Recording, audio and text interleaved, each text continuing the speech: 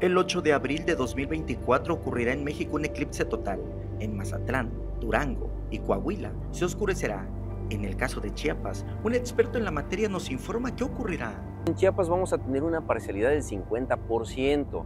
El octubre, el 14 de octubre del año pasado, tuvimos un eclipse de tipo anular en la franja, en la península de, este, de, este, de Mérida, ahí Yucatán, Quintana Roo y pues eh, en Chiapas tuvimos un poco más de porcentaje de, parcialidad, tuvimos un 80%, y este año nos toca un poquito menos, pero tampoco no deja de pasar desapercibido. Es un acontecimiento que podemos observar este, con todos los cuidados necesarios indicó que en Chiapas habrá puntos de concentración para poder observar de manera segura el eclipse.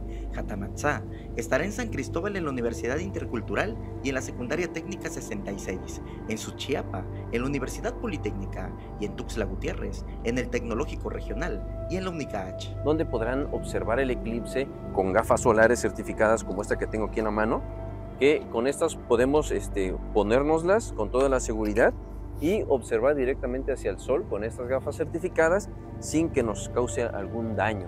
Y sobre todo que vamos a poder ver eh, todo el fenómeno de la, de la parcialidad, en este caso el 50%, y pues sin ningún detalle. Este fenómeno ocurrirá entre las 11 de la mañana y la 1.30 de la tarde, y por nada puede intentarse ver al sol, porque puede ocasionar daños a la vista.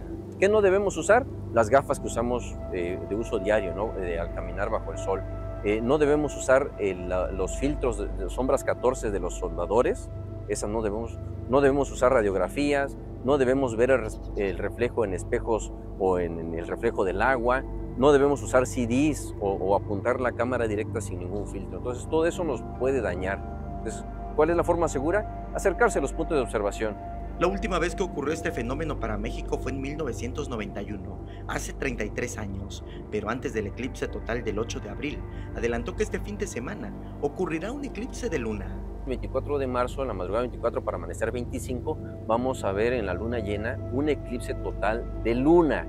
Este sí se puede observar a simple vista. Comienza el día domingo 24 a las 10.50 de la noche es un tipo penumbral. ¿Qué quiere decir esto? Que no se va a oscurecer la luna, no se va a tornar rojiza como los eclipses totales de luna. Eh, va a pasar sobre la franja o la sombra penumbral de nuestra Tierra, que es una, una sombra más tenue. Y vamos a ver en la luna eh, cómo va reduciendo gradualmente su brillo. Samuel Revueltas, Alerta Chiapas.